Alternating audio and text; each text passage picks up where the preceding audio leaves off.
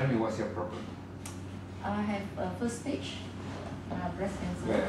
Actually, the the lump is uh, with me already 20 old years. With lump for over 20 years. 1997, Did a biopsy, what the biopsy say? nothing. Nothing. Lump did a biopsy, nothing. Mm. Did you take out the lump? No, because the doctor say very small, zero, uh, 0.55 uh, 5 millimeter only. Never remove. Uh, They should remove everything. it say too small. Nothing happened. I Yeah. keep on doing ultrasound Alright. once in a while. I mean one or two years. Follow. Then I, I follow up lah. And then what happened? So only uh, January This year. uh, uh, when I find the, the lumps is like stone, not like the normal size already. No normal size. Not normal size. Now let me, is the same lump? Uh, yes, somewhere near there. But after the ultrasound Yeah, and mammogram, ah, the Yeah. doctor say is uh, Just, just next to her, yeah, just next to it, because it's become not not round shape already, become a tubular, a tube Yeah, tube shape already. excision.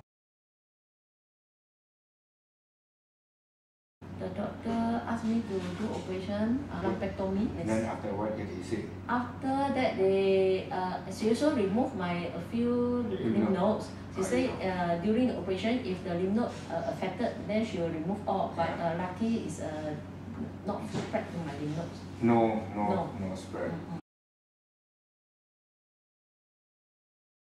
After that, uh, they, they, they, they do the test on the lungs. So she said, uh, because Then- then no need chemo. She said no need chemo. So it's a it's a good cancer cell. She, she, she told me it's good cancer cell. So no need. so so this thing should think uh, consider lucky lah. But she They ask you to she she uh, tamoxifen. Uh, Said maybe for five years or ten years ah.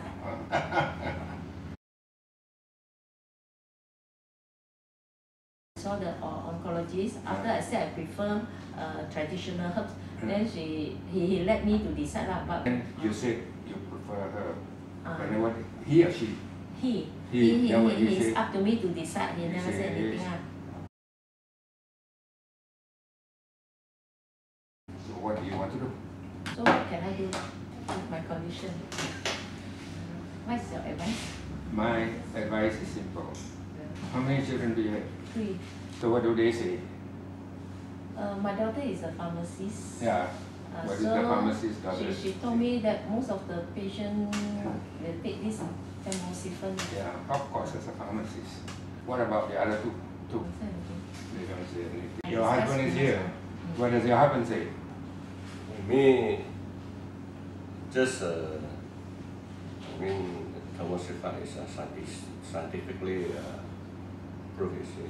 Yeah? And then the herbs Proven, uh, is There was proven. a van approved. to Ah, suppress my uh, how Yeah. to say And then uh, for I don't know. Herbs I, are not I, I, proven. I discussed with her. The purpose it come here is uh, just a supplement. lah. Yeah. Just a supplement. Now my advice to you is this. If you believe that tamoxifen is a proven drug, then go for it. Mhm. But my advice is go and read in the internet first and find out what it's all about. But internet they have different doctors, Yes, different there- opinions. So Because really this is a world full of not honest people, money making industry. Mhm. Therefore, you have got both sides. Come here, you ask me a question, I never answer you the direct question. What you do you do? Because I want to be honest. I don't want to make decision for people. I think everybody should make their own decision. The side effects, you are going to suffer, not me. Eh? But what I'm trying to say is that you have to make that decision yourself. And to make that decision, be intelligent enough to read what what are written out there and sieve out the good and see the bad. Okay? If you are really sincere in sending research, fine, there are a lot of information there out there tells you that this is. But a lot of people think they're smart. So I will not say anything. That's the reason why I say nothing. When you are desperate, I tell you this, whom do you pray to? Buddhists, some pray to Kuan Yin, some pray to Buddha, some are Christian, some are Hindu, I have monks coming here. I say go back and pray first. Pray to your God. Spend a few days praying. And I do not know what to do. Now, what do I do? I think ask your God. That is the way I handle it. Nobody in this world can cure any cancer. When you tell me about your story already, I already know the mistake, the very beginning. Whatever you want to say, it is up to you. But then you paid for your problem 20 years ago. I gave you all my advice for no more Thank one you very hour. much. You want to know more, you go back and read for yourself. So is it alright, I mean after operation, I maybe will take uh, one or two more weeks to Yeah. to decide. You're not going to die. Even you can wait for another six months. You can wait for another six months, It makes no difference. Don't have to give people to frighten you. A research in Italy has shown that if you have a lump and you do nothing for eight months, still okay, nothing wrong. Don't let people frighten you.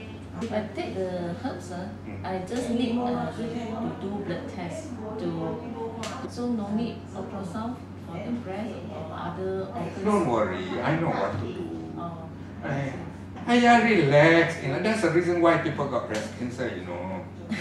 no, Take it because I want easy. to decide, uh, make me. Take it easy and relax. Alright? Take it easy.